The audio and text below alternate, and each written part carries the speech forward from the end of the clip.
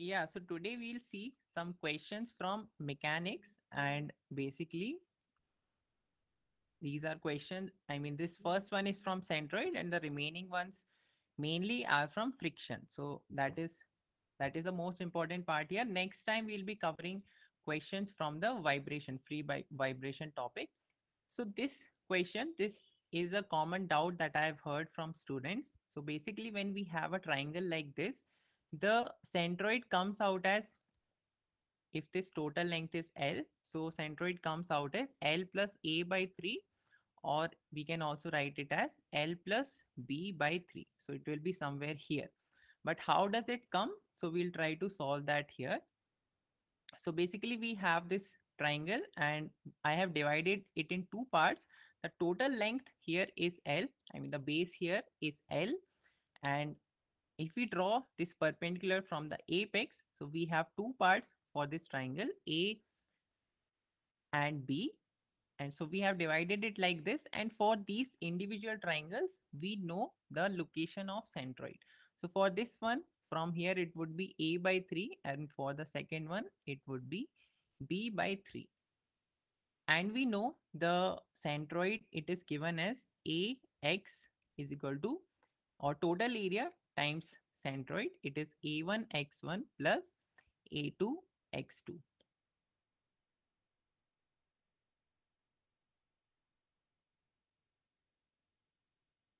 Now we just have to write this term a1x1 and a2x2. So let's say this area here is a1 and the second one here is a2. So total area, what will that be? So total area would be let's say if I write just in terms of A and B, so A plus B by 2 or 1 by 2 times A plus B times H, that is the height here. And area of first triangle, so that would be half times base, that is A, times height, that is again H. And similarly, for the second triangle, sorry, we'll have to take product of its location of centroid also. So that is this part is A1. Now X1 here, we are measuring from this point. Let's say we are taking the origin at this left hand side point 0, 0. So from here, the centroid, it will come out. I mean, at the distance here, it would be 2a by 3. So this distance, the centroid distance x1 will be equal to 2a by 3 so 2a by 3 here plus a2x2. So area of second triangle, it would be half into b into h. And its centroid, so its centroid would be the, I mean the distance because we are measuring from this origin, which we have assumed at the left side. So it would be a plus the distance here that is b by 3. So a plus b by 3 for that. Now we just have to simplify this. So we'll have this 2 will cancel out. So we'll have a square h by 3 from first term and from the second term it will be bh by 2. So a bh by 2 plus this will be b square h by 6. Now on the right hand side we can further solve. So let's say we take h by 6 as common.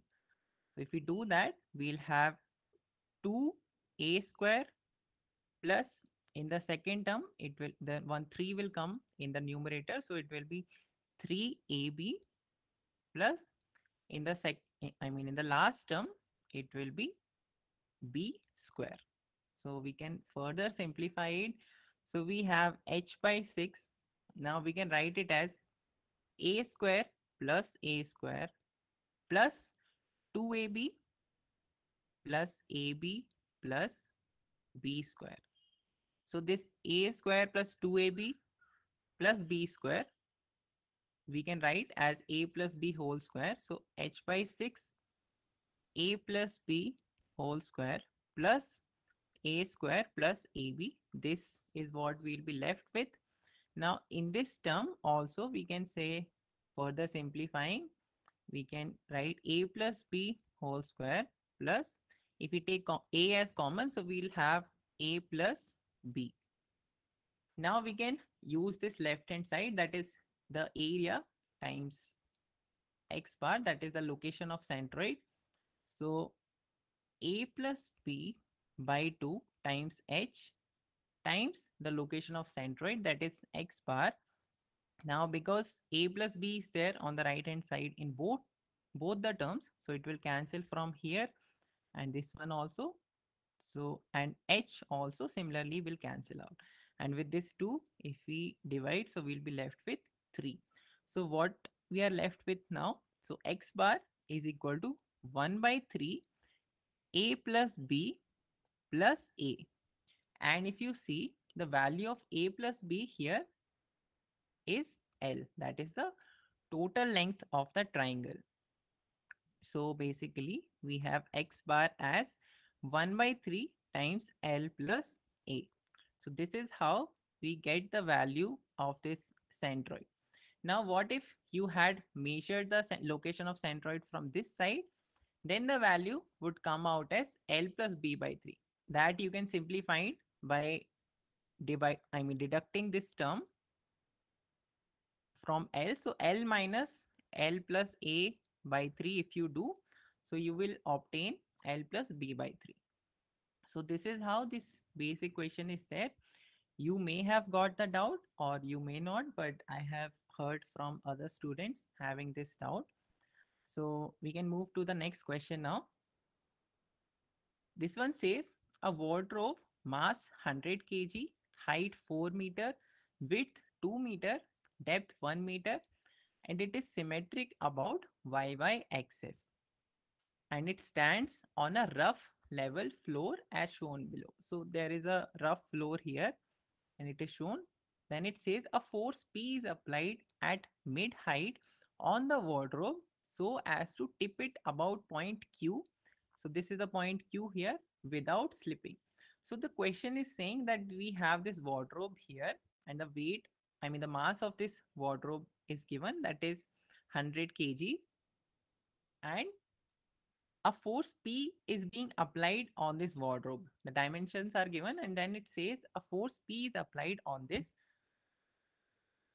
So it is applied in such a way that this wardrobe is tipping about this point Q. That is, it is just about to tilt about, I mean, about to tilt about this point q. That's what is happening.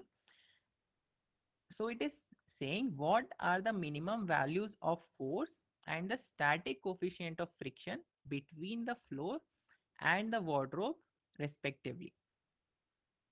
So we have to find out the value of this p and also the coefficient of static friction mu s between this wardrobe and the floor. So here basically it is not slipping but it is the case of tilting. But we can say it is about to about to slip also but before it can slip it is tilting. So for that i mean this question is basically from gate mechanical and a similar question was asked in gate civil this year in gate civil's paper. So it is i mean it's not that complicated. What we have to do we have to check the equilibrium the moment equilibrium about this point q. So we have two forces. The mass or the weight of this wardrobe is acting downward at its center of gravity and this force is acting at this mid level.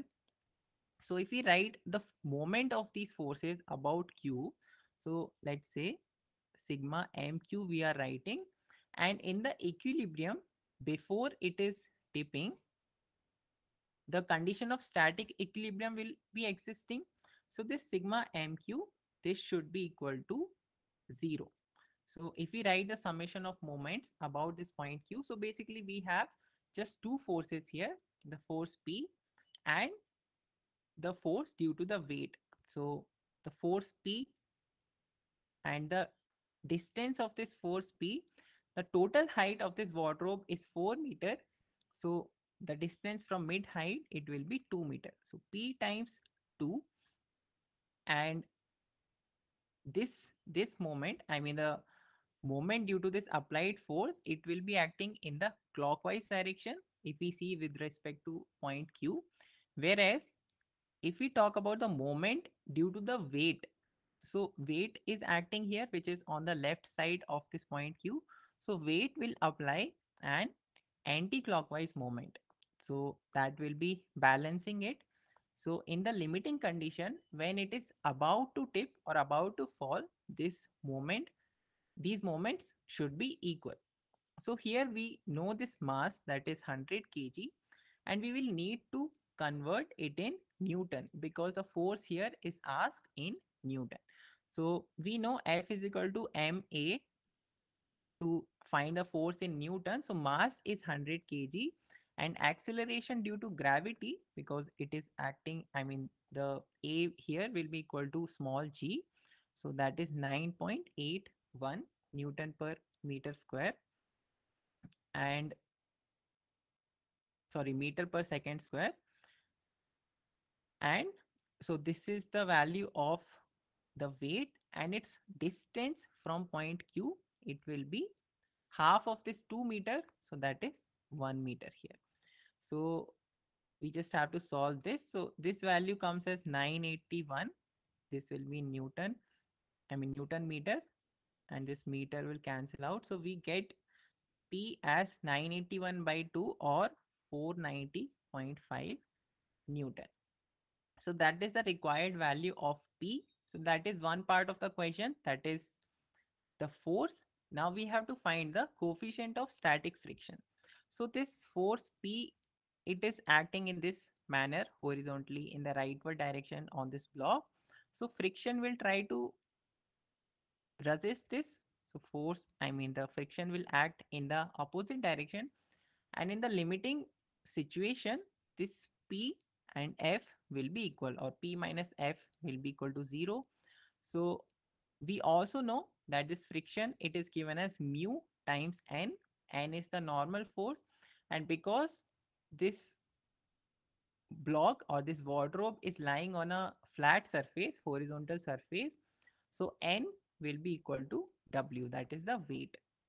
So we have the value of p that is 490.5 and then we need to find out the value of mu and the value of n is equal to weight. Weight is 981 so from here we get the value of mu as 0.5 so this is the required value of static coefficient of friction i mean coefficient of static friction. And this is the value of force which will just tip this wardrobe